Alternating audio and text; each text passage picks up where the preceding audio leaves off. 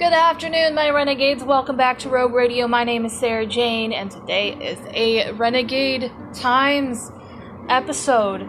Yes, we're going to be talking about a lot. So, um, yeah, strap in, and links will be down in the description below on how to reach me. Come and hang out. Come and say hi. I love company. And uh, so, yeah, there you go. There's the intro.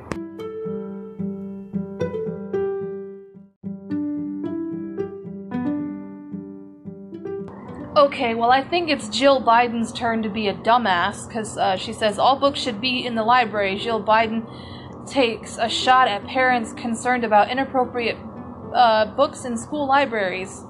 So, First Lady Jill Biden, who got her doctoral degree in education from the University of Delaware, implicitly uh, criticized American parents who feel inappropriate books are lying on the bookshelves of the children's school libraries. Okay? Um, hang on. In recent years, many parents have stood up to school boards and denounced schools for the inclusion of books they feel teach inappropriate values to children. So, for any of you who are not aware, there are books now that are very liberal and very sexually explicit in order to teach kids how to masturbate, teach kids um, about trans uh, culture and LGBTQ and all of that stuff. They have children's books out there teaching kids how to touch themselves and be sexually aware at like five years old and even lower. And um, there have been many board meetings, school board meetings across the country with angry parents saying that, you know, we have the responsibility to teach kids about sex. The school board and the government should not, and I totally agree. So, in recent years, many parents have stood up in school boards and denounced uh, schools for the inclusion, their inclusion of books that feel um, they feel teach inappropriate values to their children. Biden was prompted by NBC's Today host uh, Sheinelle Jones, uh, who started by noting something that would have caused uh, nary a ripple in the past. Um, parents in politics are now weighing or politicians, I'm sorry, are weighing in on what books should be um, in our school libraries and what their kids are being taught. Where is the line, in your opinion, uh, with how much of a say parents should have when it comes to their kids learning in school? Okay, for one, that is, um, it's not a question that is preparing Biden for the answer um, they're not actually preparing her for what is explicitly uh, the topic.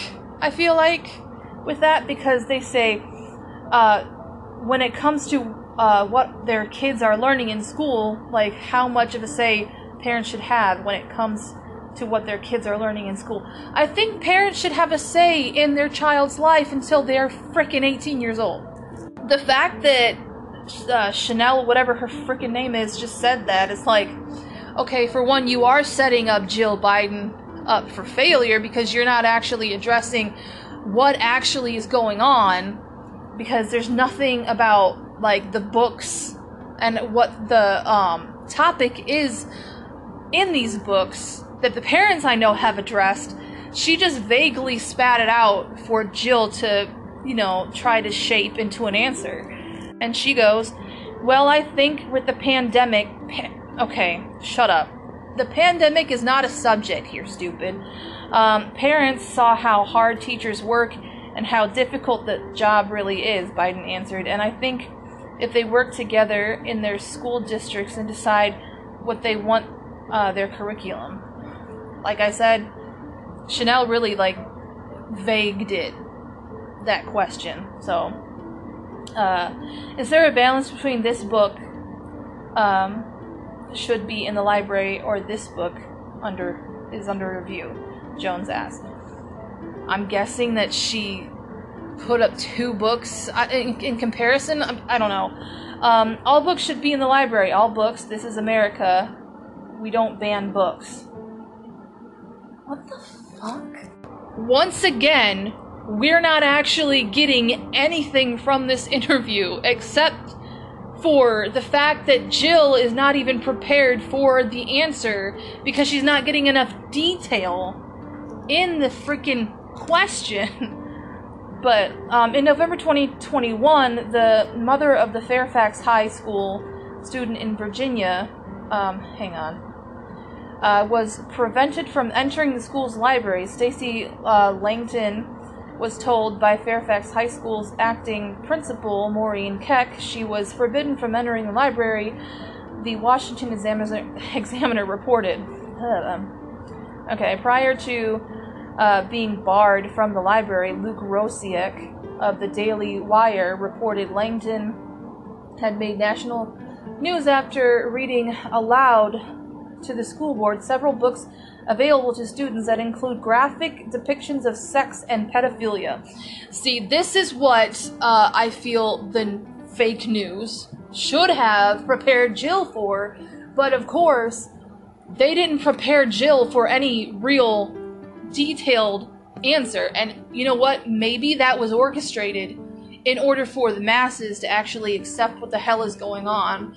Like, because to anybody who watched that interview or read that read this article if the daily wire wasn't able to um you know put this out we wouldn't have been able to differentiate what the hell was going on.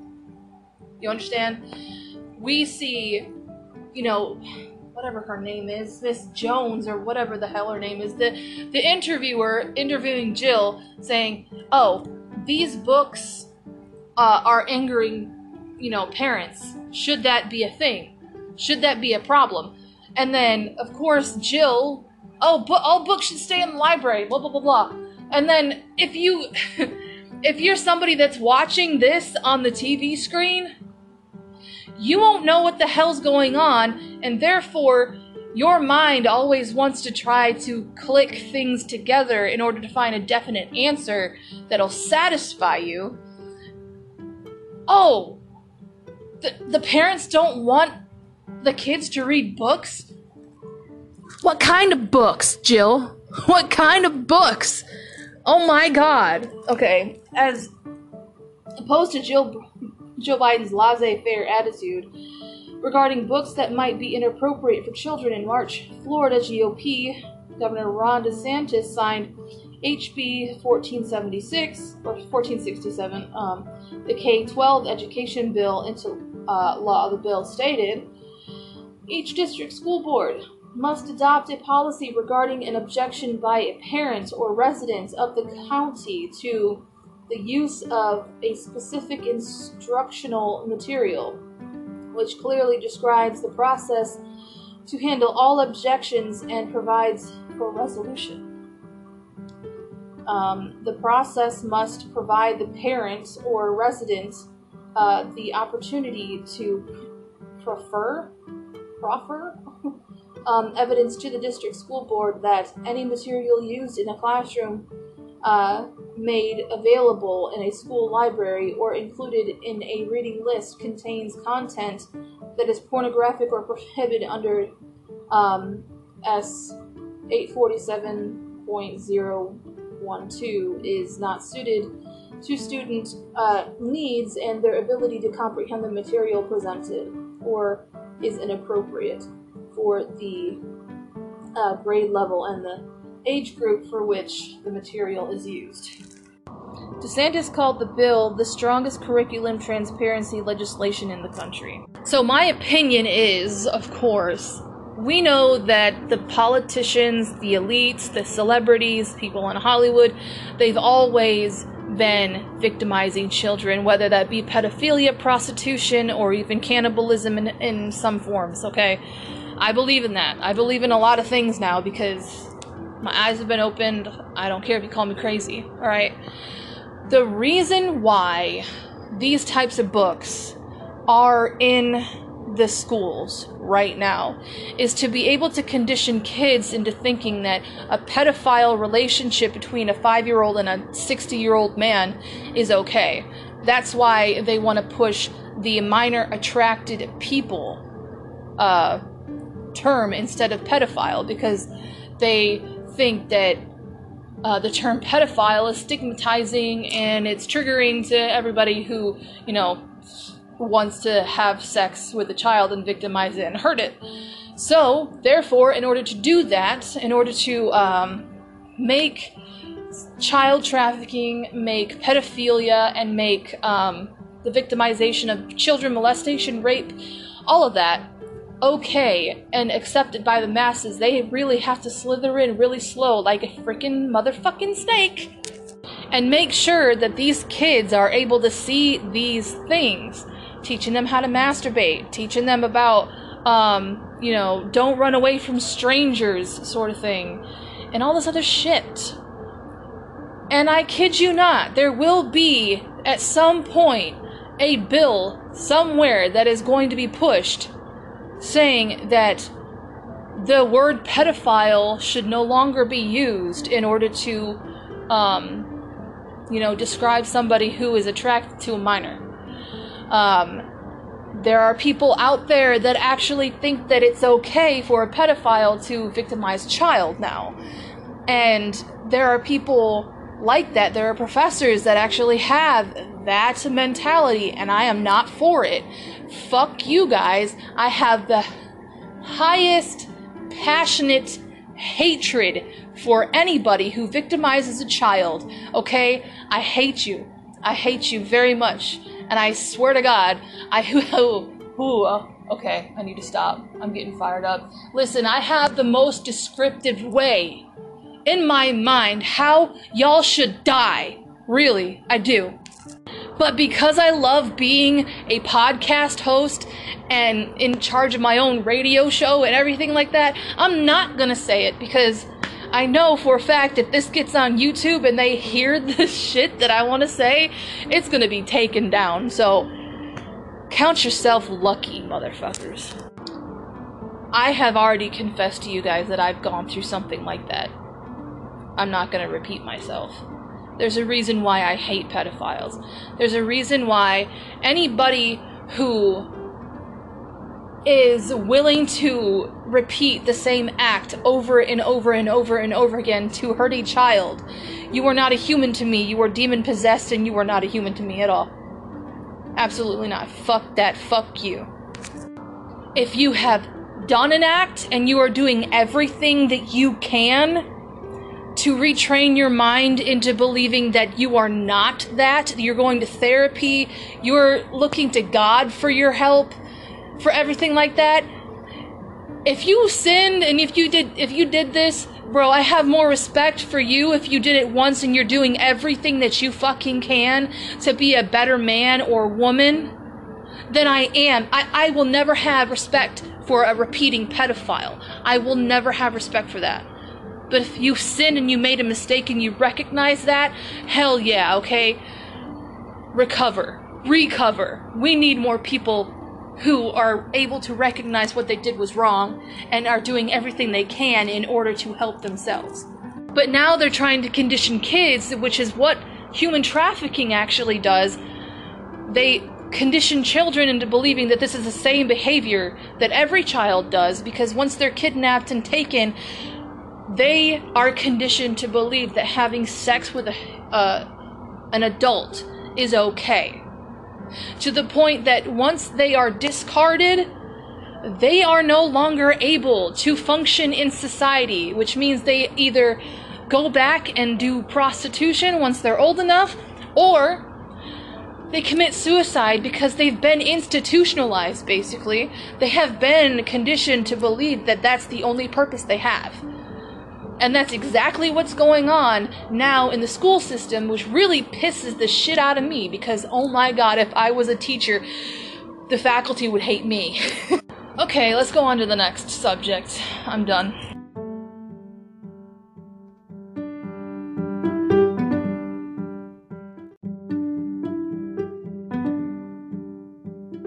This is interesting. I'm going to read this. Ohio teachers can carry guns in classrooms. So, I am from Ohio. I've lived in Ohio all my life. Um, and uh, I, I usually try my best not to, you know, talk about the city that I live in just because I know I talk about some very sensitive shit and I only tell like my very close friends who listen that are in the podcast community like where I, you know, live live. But um this is uh interesting. Um I know in Ohio um it is now legal for anybody to own a gun which means if you're mentally ill, you don't have to be mentally screened anymore. Anybody can own a gun, and, and in the location that I am in, it is very ghetto. And I don't mean that in like the, the meanest way possible. I mean it in it's real. It's it's real. It's a real thing.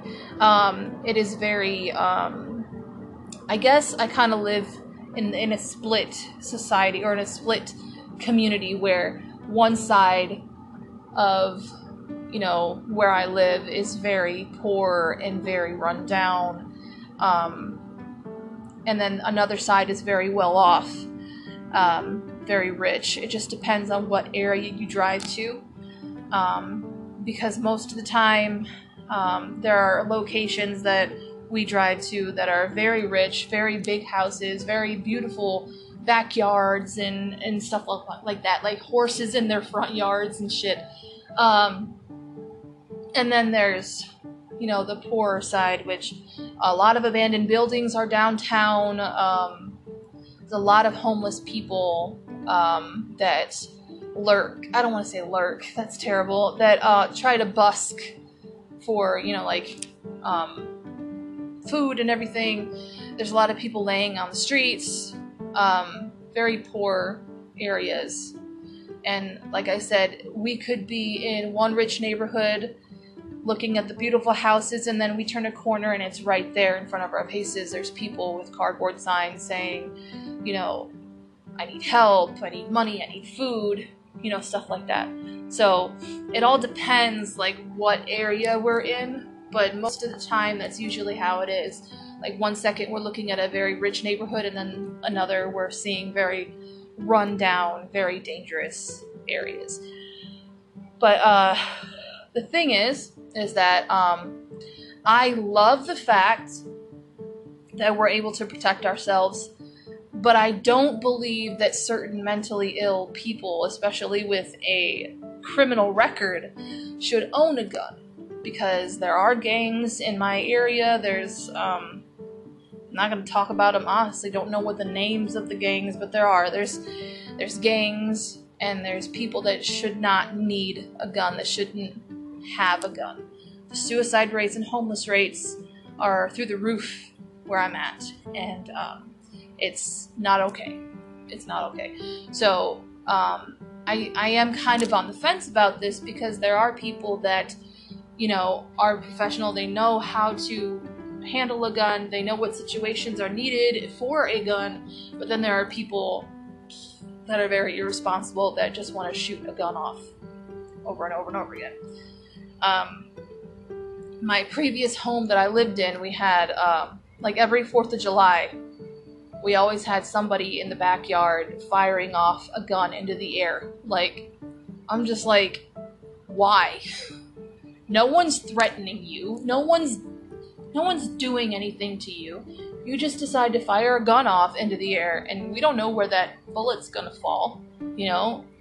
But this is why I believe that my city should not like some people in my city should be screened like their background and their mental health because there's a lot there's a lot going on in my city that doesn't need to be going on and part of it part of because of why like anybody can own a gun. Like anybody anybody here can own a gun now.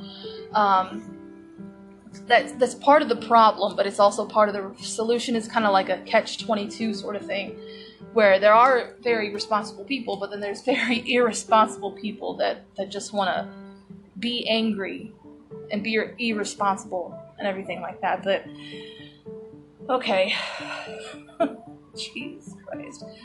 Um, an Ohio law uh, teachers, no, an Ohio law allowing teachers um, to carry guns in the classroom is now in effect. Which, to be honest, I love that. I love the fact that teachers are now able to defend themselves. I love that. I'm just saying, like, the state of my city outside of the school system, that's where we're at. But if it's a teacher able to carry a gun, that's amazing. Because um, school shootings is a problem. But House Bill 99, the legislation that permits teachers and staff to carry firearms on campus after 24 hours of training and eight annual training hours. Um, hang on. Uh, was signed in June, and now it became a law on Monday. Uh, my office worked with General Assembly to uh, remove hundreds of hours of curriculum irrelevant to school safety and to ensure training requirements and were specific to a school environment and contained significant scenario based training. Um, Ohio Republican Governor, Governor Mike DeWine. Mike DeWine is just disgusting. I don't like him. Just saying. Uh, he said in June a statement regarding to the law signing. Uh, House Bill 99 accomplishes these goals, and I thank the General Assembly for passing this bill to protect Ohio children and teachers. he added, did he actually say that?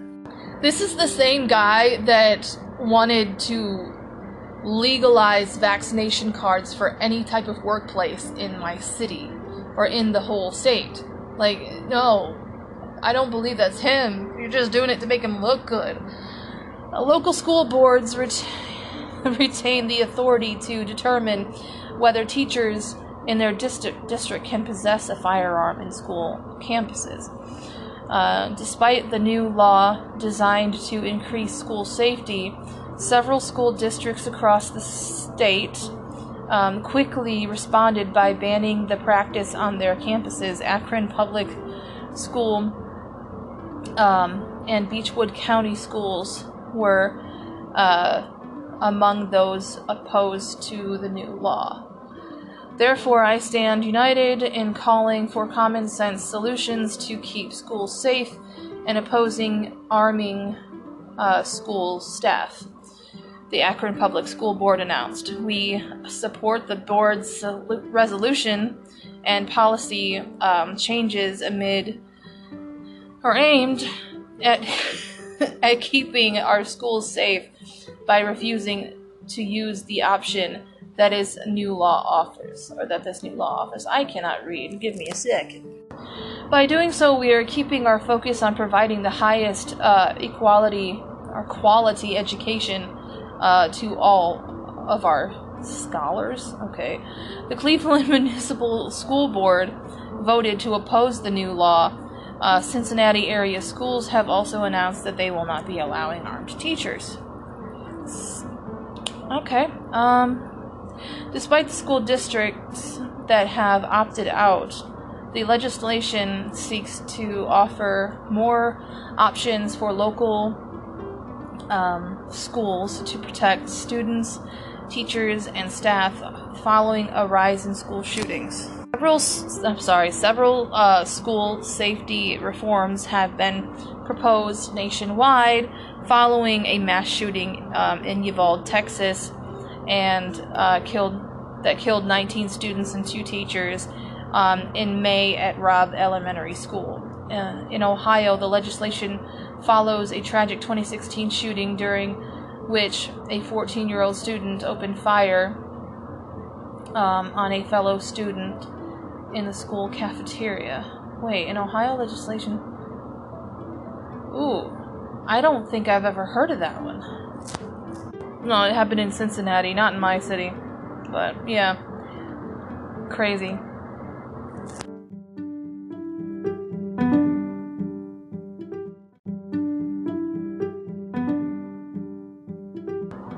Okay. This can't be fucking real. This can't be real.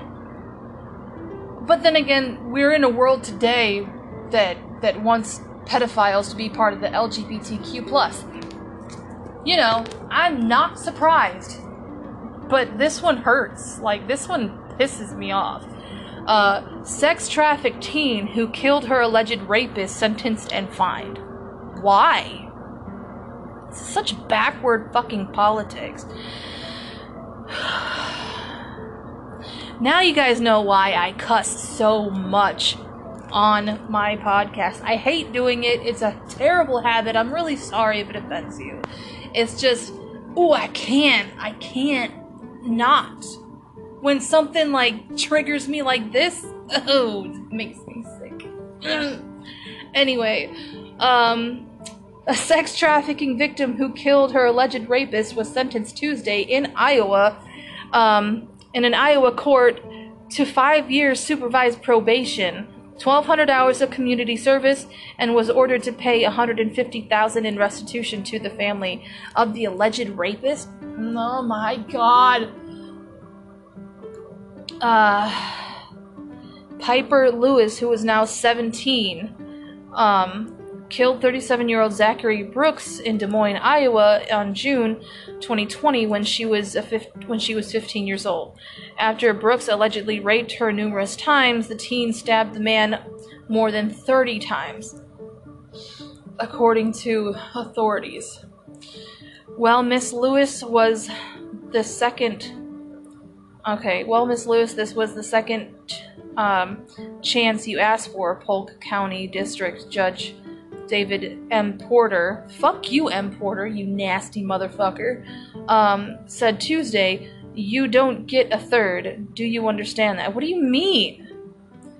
Do you, does, has she killed other rapists before? I mean, does she have a criminal record? I need to know this. I'm asking the right questions. Daily Wire, where the hell are you? Judge Porter also said that uh, the court was presented with no other option than the force or then to force the teen to pay restitution to Brooks's family uh, thanks to Iowa law. Okay, so if she's been trafficked, the trafficker has a lot of money. Therefore, if the family is in it, they can pay a lot of money towards the judge to have it uh, swayed their way. And uh, money talks, people. Um, but I need to know, like, a second chance for where, where what was the first chance? What what was the second chance? What was the third chance? Like she doesn't get a third chance, but what are those two other chances that you did give her? Like is she an actual murderer? Like I I need to know this. Family thanks to Iowa law. Okay. Uh, the state also does not have a safe harbor law, the Associated Press noted. Um, the teen pleaded to involuntary ma- manslaughter and willful, willful injury, both of which were uh, punishable up to 10 years behind bars, Fox News noted. Uh, Judge Porter deferred the prison sentences. Um, if the teen violates her probation, she could serve up to 20 years. Um, Lewis was adopted out of a foster care age. Um, let's see. At age three, by Billy and Leslie Lewis. Uh, she reportedly struggled to run away from home um, on three occasions. Okay, see, I've talked about the foster care system and how corrupt it is.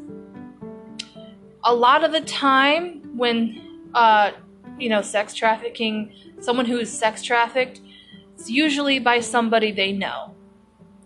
And the parents could possibly have been the ones that trafficked her. I don't know why. I mean, you're already getting a lot of foster checks, right? For this child? I, I don't know. But um, before she ended up with Brooks, she was taken by a musician, 28, who was not named and was and has not been charged with a crime. The man whom Lewis um, considered her boyfriend uh, allegedly sex trafficking the minor to Brooks. Police and uh, prosecutors have not uh, dis- disputed the Lu- that Lewis was sexually assaulted. So the prosecutors did not dispute that. That was not a topic in the courtroom. They just decided to arrest her because she killed somebody. That that's how they wanted it to be seen by everybody else.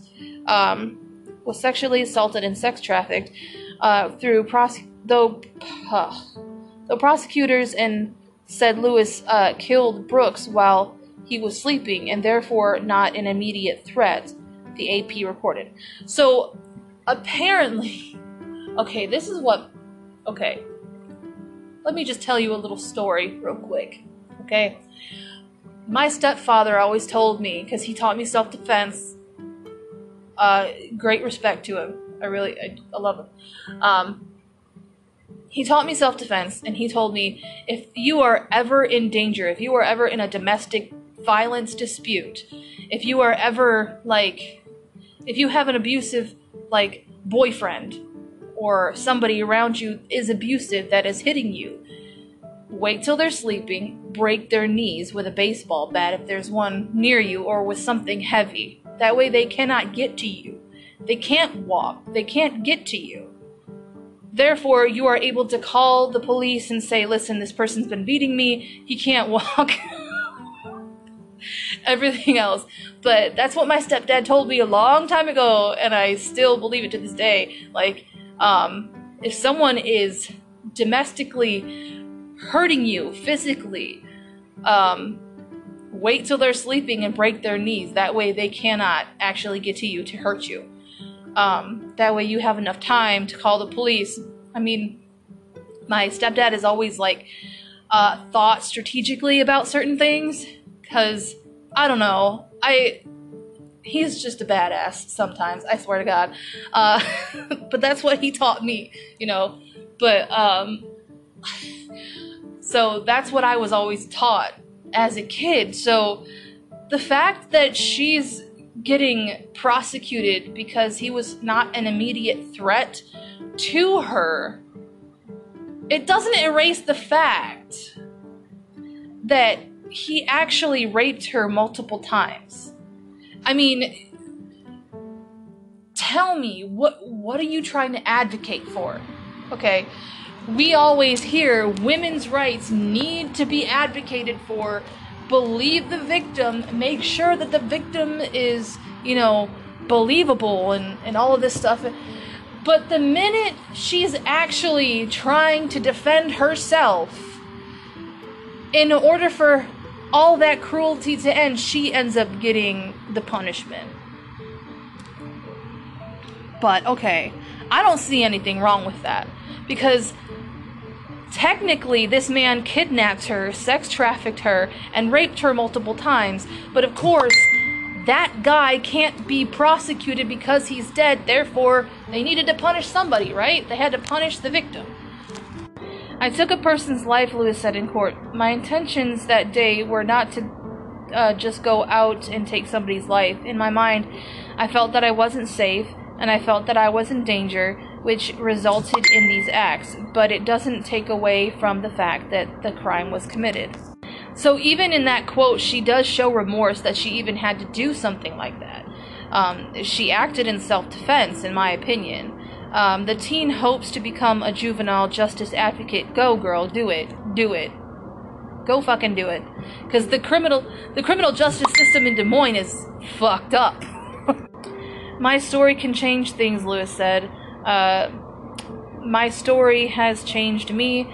The events that took place on that horrific day cannot be changed as much as I wish it could. Um, that day, uh, a combination, or that day, a combination of complicated actions took place, resulting in um, the death of a person as well as stolen innocence from a child. So yeah, there's the politics. Um, okay, now we're gonna go into something that I've been kind of wanting to uh, read. So let's go into enter. What is this? Enter. I can I can never find a section for this, like the middle section of my podcast. I don't have a name for it. You know what? We're just gonna say I don't have a name for it. Segment. Let's go. Hello, my renegades. If you haven't heard about Anchor by Spotify, it's the easiest way to make a podcast with everything you need all in one place. Let me explain. Anchor has tools that allow you to record and edit your podcast right from your phone and computer. And when hosting on Anchor, you can distribute your podcast on listening platforms like Spotify, Apple Podcasts, and many more. It's everything you need to make a podcast in one place. And best of all, Anchor is totally free. Download your Anchor app or go to anchor.fm to get started. It's a lot of fun, so come join us.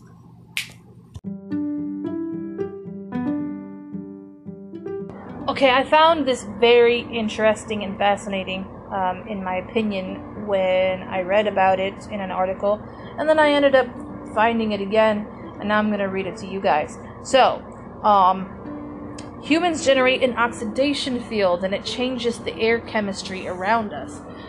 That that's pretty cool. So we're gonna read this. There are all kinds of pollutants in the air around us outdoors can be washed away through, and I hate pop ups, give me a minute, can be washed away through falling rain and the oxidation that happens after ultraviolet light from the sun reacts with ozone and water vapor.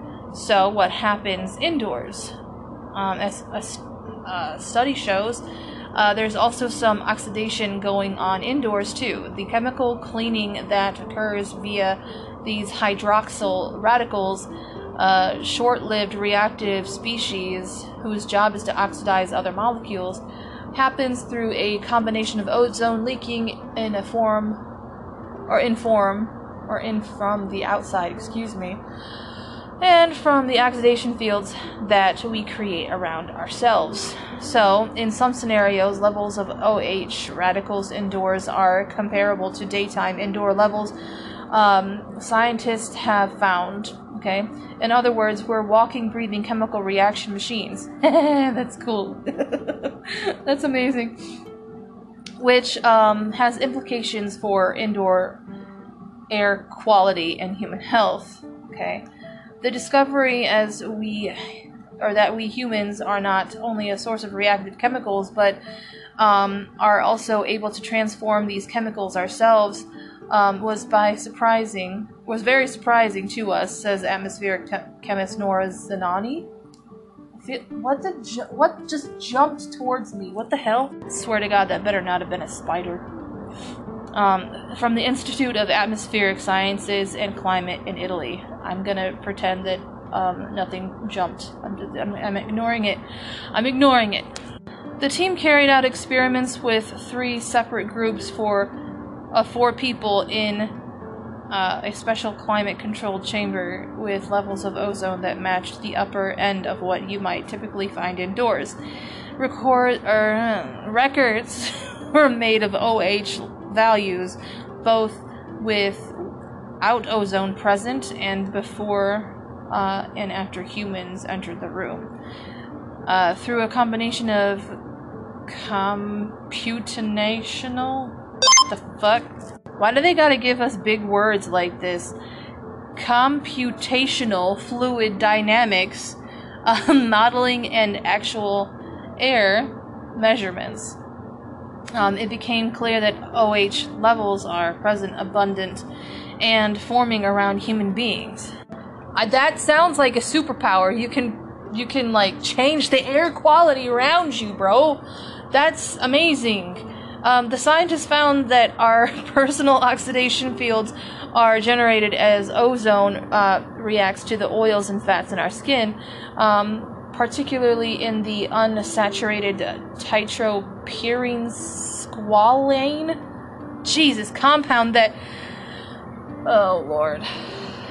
That makes up about 10% of the lipids and can protect the skin and keep it supple.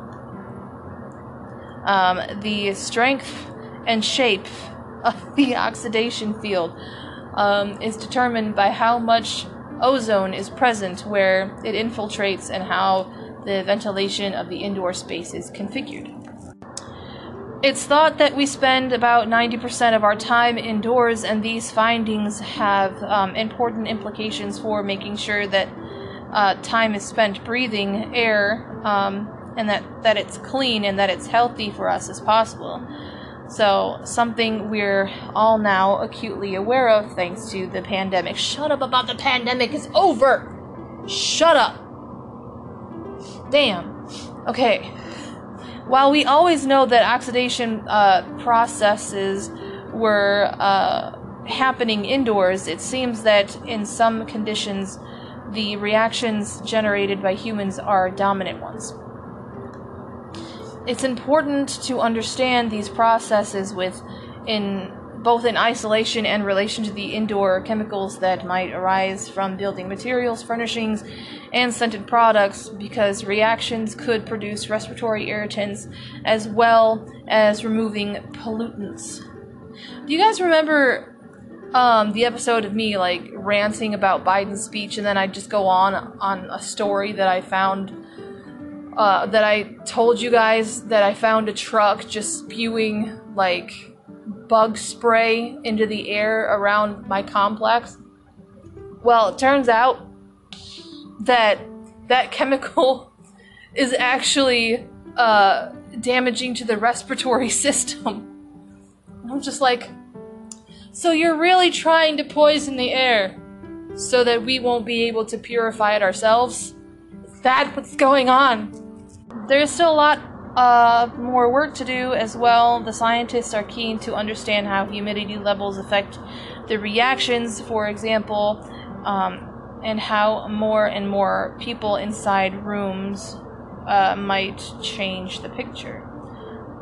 So, further, there is a possibility that oxidation fields humans produce might um, even affect our per- perception of odor.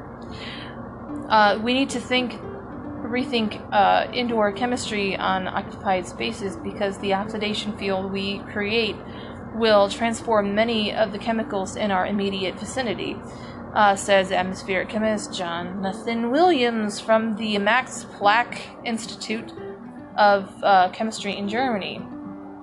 Um, the research has been published on Science magazine.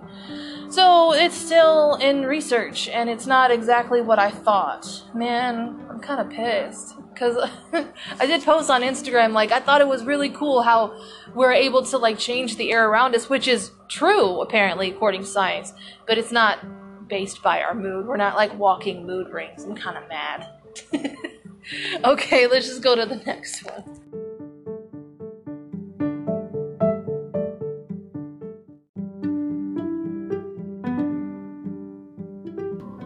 Okay, this one is about Meghan Markle, so we're gonna read this article real quick. Um, I will say that um, ever since Harry and Meghan decided to get married, um, it's been kind of awkward. Um, I've seen a body language video on YouTube about how um, he reacts to her, like he doesn't want to be touched by her and everything. So we're just gonna get into her behavior because apparently she really likes the spotlight and um, she just wants attention. So Meghan Markle's awkward exchange with royal aides over flowers is caught on video. It was a floral fumble. Meghan Markle was caught in an awkward moment involving a bouquet of flowers while mourning the loss of Queen Elizabeth II alongside her husband, Prince Harry, as well as Prince William and Kate Middleton. Um, in a video captured by a mourner outside Windsor Castle on Saturday, Markle was uh, seen holding a bouquet when a royal aide approached her to ask whether she could take the flowers off, or he could take the flowers off her hands. Meghan appeared to decline the offer and told the aide she was going to put them on, put them down herself before turning back to the crowd with a bundle, with the bundle still in her arms. What? Um, but moments later, another aide walked up to take the flowers uh, that Harry got from a member of the public and then reached for Mar- uh, bouquet and said, or to, okay, whatever. The suit's um, alum seemed to resist at first, but after the aide appeared to explain the situation, Markle obliged and handed over the floral arrangement. Um, the big guns had to step in when Mark or Megan refused um, to go to let go of the flowers. Um, the first aide uh, tried to take from her as she herself wanted to walk them over to the other tributes. A fan account tweeted. Okay.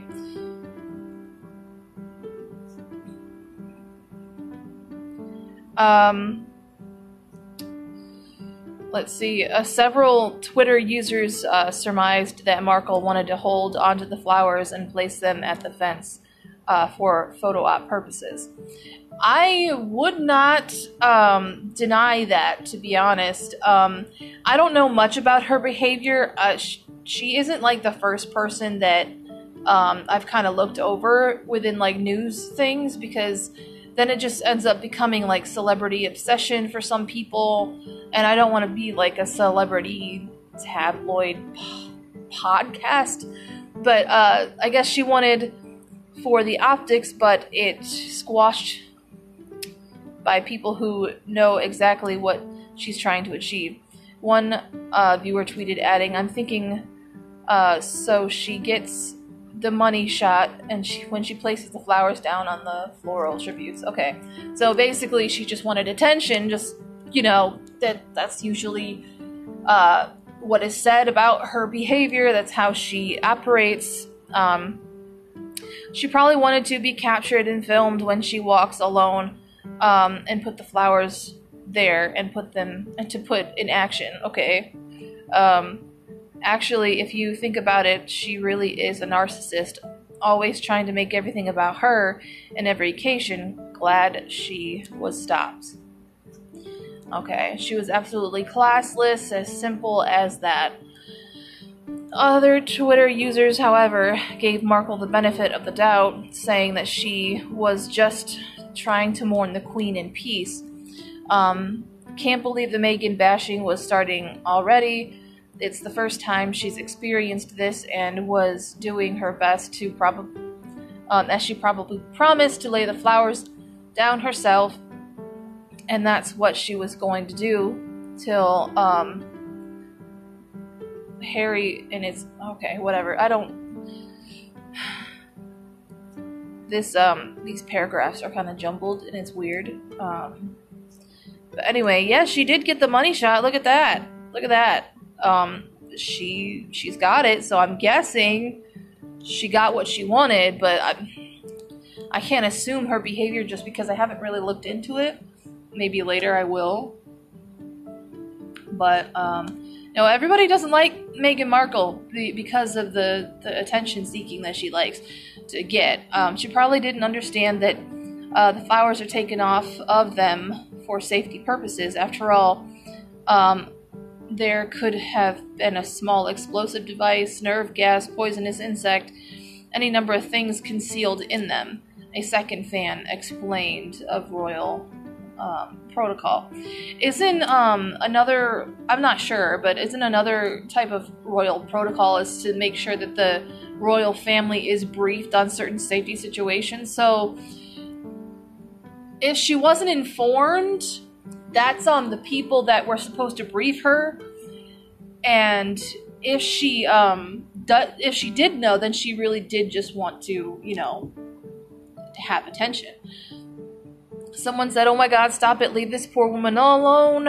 Um, take a breath. This will pay out as it will play out. I cannot fucking read. Be glad the whole world isn't weighing on every move you make. Enough already. One more row. Markle, 41, and Harry, 37, um, joined William and Middleton, both 40, to lay flowers outside the Windsor Castle to pay tribute to the late monarch the outing marked the first time the Duke and Duchess of Sussex appeared in public with the newly crowned Prince and Princess of Wales since the Commonwealth Day in March 2020. Okay, so they haven't really been part of social interaction. And I, I think I know why, just because I know that Kate Middleton has never been really liked by the Queen. Um, she's kind of been kind of like how you know, Princess Diana was and how she kind of objected towards certain things. Because even her wardrobe, like, she's not supposed to wear certain things, but Kate Middleton ended up doing it anyways. So I understand why um, they probably decided to stay away from the public eye because, you know, she was disobedient and she just didn't, she doesn't want everybody to demonize her, which is fine. A royal source told uh, Page Six that William extended the invitation. Oh my god, that William extended the invitation. Oh my, why is that such a hard word to say right now? Extended the invitation to the estranged brother and sister in law, adding, We are very grateful, both sides putting all things aside for the Queen. Harry rushed to uh, be by the Queen's side last Thursday morning when Buckingham Palace announced that her health was rapidly declining, but he arrived after his grandmother's death and without his wife, who reportedly feared she would be she would not be warmly welcomed. Um, Harry released a sentimental statement Monday on losing the monarch. Granny, while this uh, final parting brings us to great sadness, I am forever grateful for all of our first meetings, um, for uh, from my earliest childhood memories to you or with you, uh, to meeting you for the first time as my commander in chief, to the first moment you met my darling wife and hugged uh, you, your beloved great grandchildren. Um, he said. Harry added, I cherish these times I shared with you and the many other uh, special moments in between. You are already sorely missed. Markle has yet to release a statement, though the pair mourned uh, the Queen's loss together by having the website of the Archewell organization go dark. Okay, that's it. That's it for that, I think.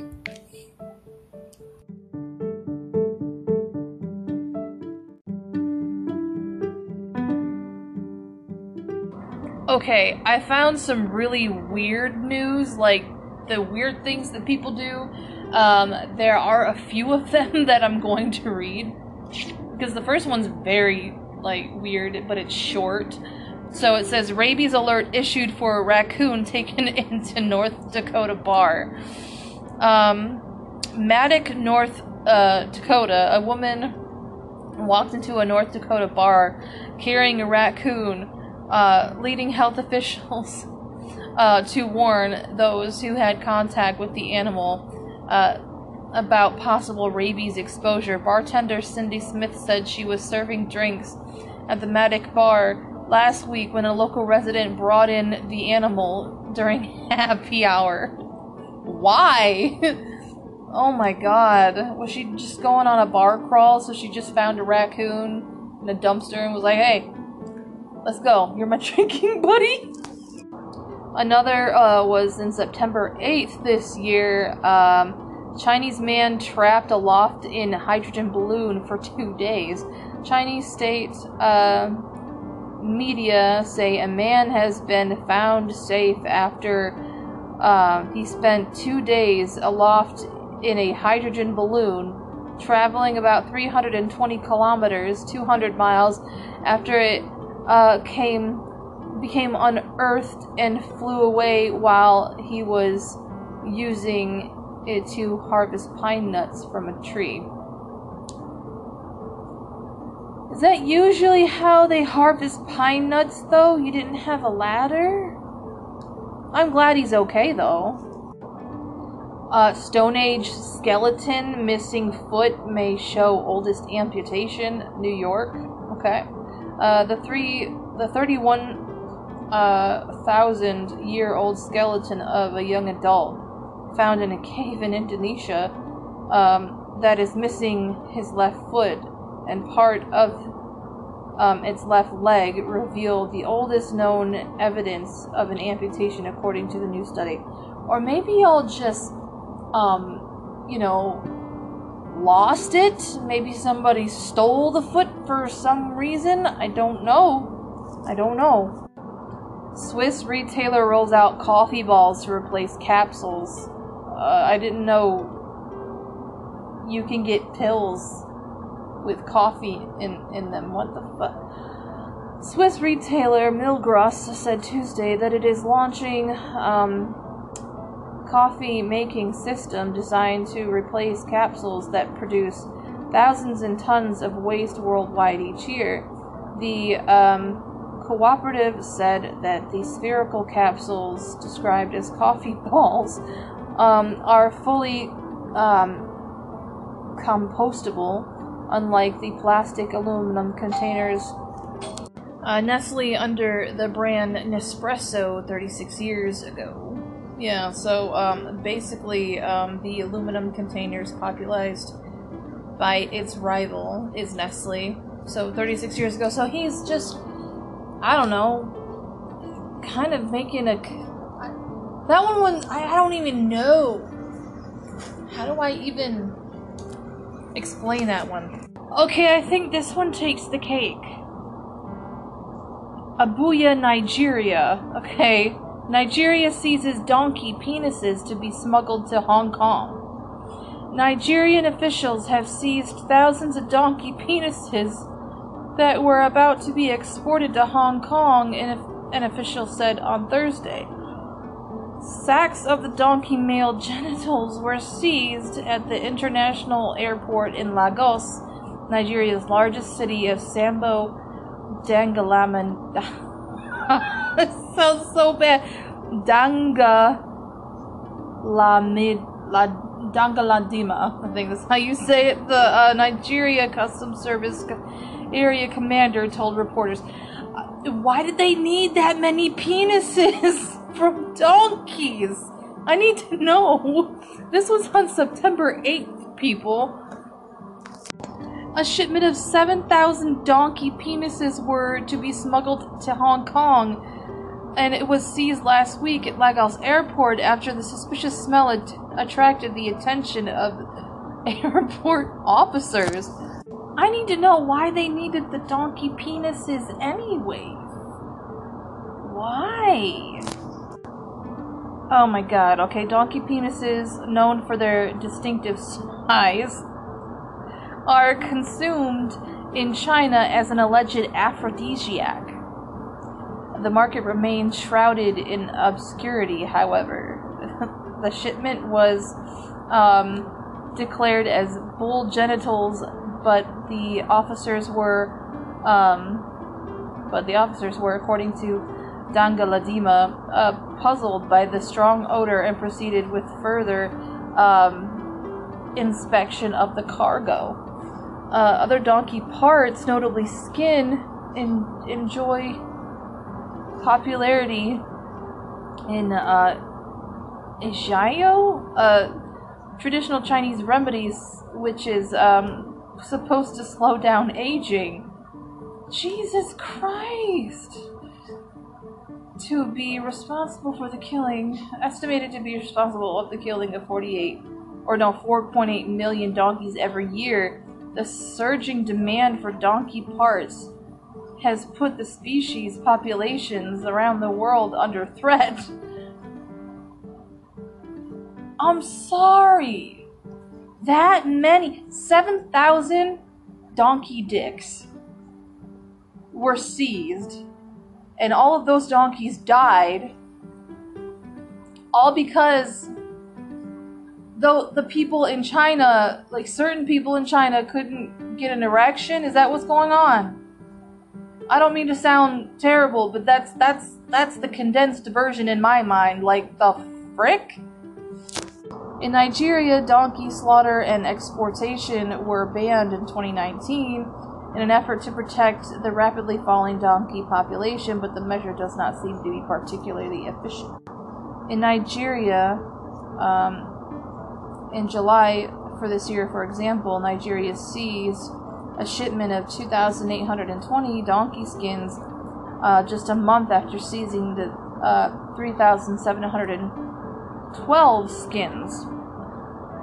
Uh, meanwhile, donkey traders have, criti- have criticized the ban inefficient and harmful to the economy. Cows of which we slaughter were 50,000 in daily basis for meat uh, have not gone into extinction, we should encourage breeding and ranching. Um, African countries have taken different approaches to the regulation of the donkey trade. Tanzania, South Sudan, Uganda, Sen- Senegal, um, Botswana, Sudan, Nigeria, and Ethiopia ban donkey slaughter or exports, but elsewhere on the continent, the business seems to continue unhindered. The poor donkeys! Good God!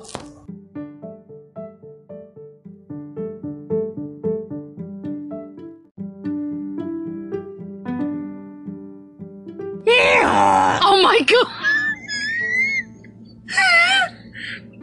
okay, um, I had to reread this. I'm going to reread it just because, um, for some reason, it didn't, um, it didn't record. So this next one, a shipment of 7,000 donkey penises were to be smuggled to Hong Kong, was seized last week at Lagos a- airport. Stop. Was a sus- after a suspicious smell attracted the attention of export officers. So, huh? Excuse me, my husband is distracting me. yeah. Terrence. Oh my god. Okay. Um, similar seizures were uh, exceptionally rare.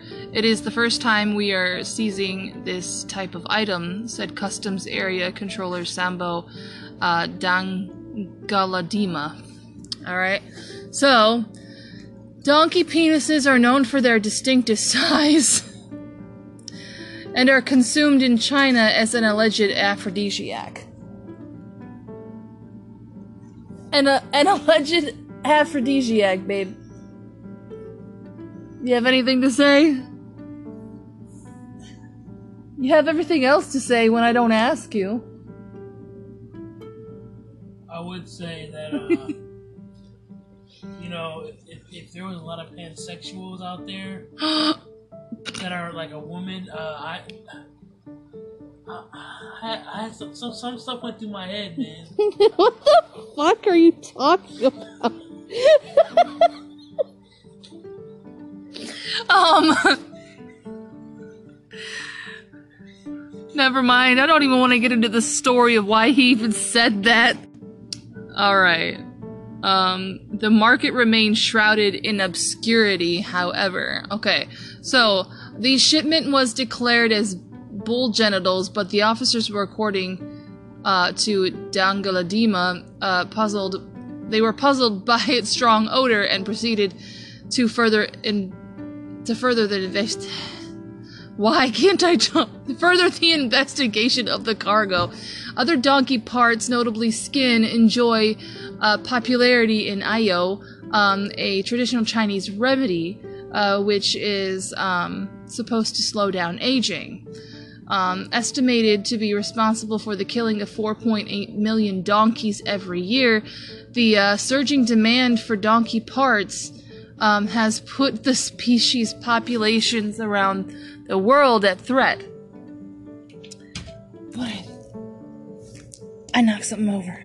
So, Africa, where donkeys are frequently in um, agriculture and transport, has taken a particularly severe blow. Nigeria, donkey slaughter and exportation were banned in 2019 in an effort to protect a rapidly falling donkey population, but the measure does not seem to be particularly efficient.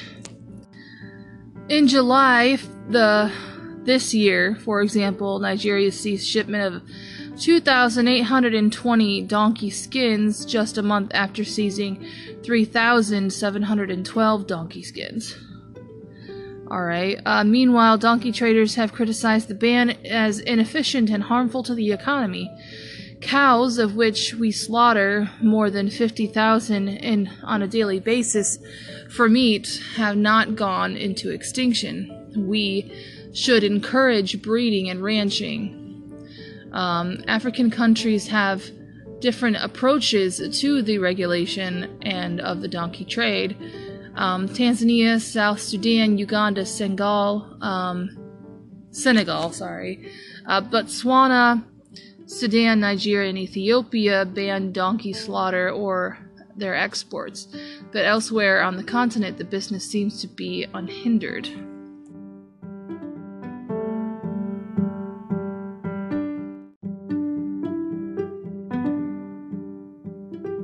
Okay, so today in world news we have Japan. Thank you so much, Japan, for listening.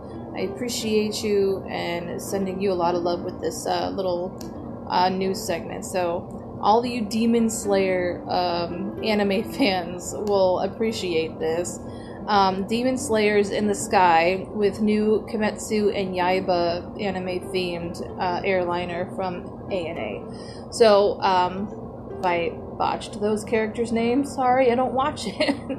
um, Tokyo being in Japan's uh, Taisho area means that the cast of Demon Slayer, Kimetsu, Kimetsu and Yaiba um, don't get to experience commercial air travel within the series, but the modern day popularity of the phenomenally popular anime manga is giving the Demon Slayer Corps um, the community um, to fly in the real world, all Nippon um, Airways uh, airplane, literally. Okay.